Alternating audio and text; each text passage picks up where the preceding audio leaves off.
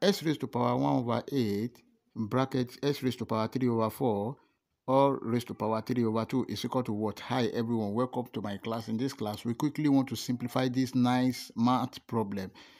But before we proceed, please don't forget to like, share, comment and subscribe. Here are the options given. A is equal to 4th root of s raised to power 5. B is equal to cube root of s raised to power 4, c is equal to 8 root of s raised to power 5, and d is equal to 8 root of s raised to power 7. Let's see what the answer will look like. Solution.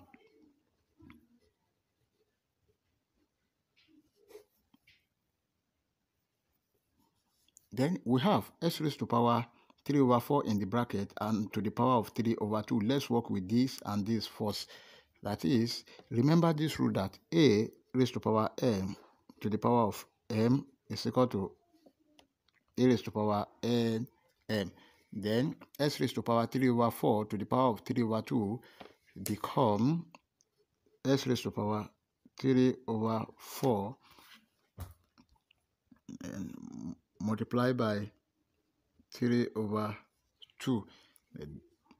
This is equal to s raised to power 3 times 3 9 over 4 times 2 that is 8 then we have this s raised to power 1 over 8 bracket s raised to power 3 over 4 and to the power of 3 over 2 so this is equal to s raised to power 1 over 8 bracket s raised to power 9 over 8 also from the same rule that if you have a raised to power n multiplied by a raised to power m, this is equal to a raised to power n plus m.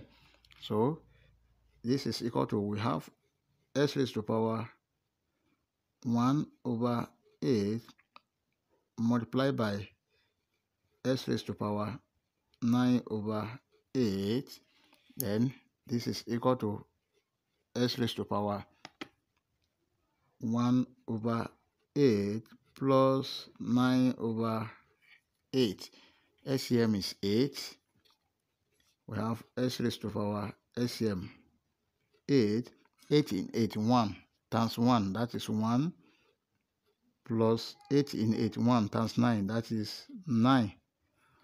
So this is equal to s raised to power 1 plus 9 10 over 8 and 2 here 5 2 here 4 this is equal to s raised to power 5 over 4 and we know that s raised to power 5 over 4 can be written as 4th root of s raised to power 5 that is our final answer. If you look at this the correct option is 4th root of s raised to power 5 this one is wrong this one is wrong and this one is wrong.